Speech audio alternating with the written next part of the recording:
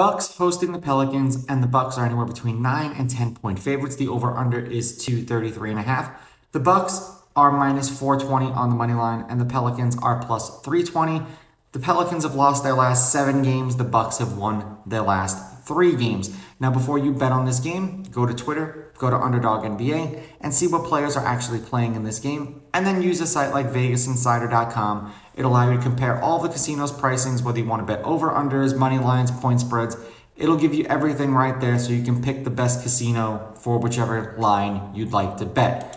Now, head to head, the Bucks are on a two-game winning streak against the Pelicans. The Bucks are 7 and 3 against the Pelicans in their last 10.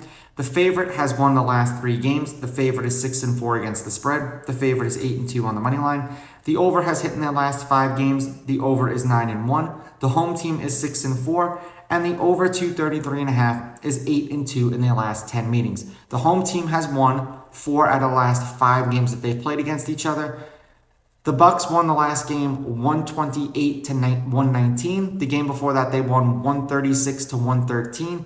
The game before that the Pelicans won 116 to 112 in overtime. The game before that the Bucks won 129 to 125. The Pelicans don't play so well on the road. They're 9 and 15 while the Bucks are excellent at home. They're 19 and 5.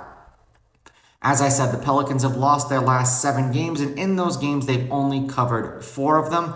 The last 4 games that they've played, the Pelicans have gone under. We've had 216 points, 213 points, 197 points, and 196 points. Now for the Bucks, they've won their last three games. They've covered six out of their last 10 games and two out of the last four.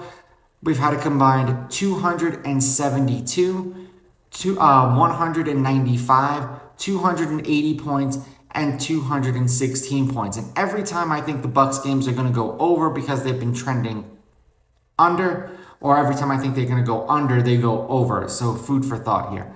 But I'm going to take the Bucks with the money line. I'm going to take the Pelicans getting the 10. I think that's a lot. And I'm going to go over. These are just my picks. If you disagree, please go with your gut and please bet responsibly.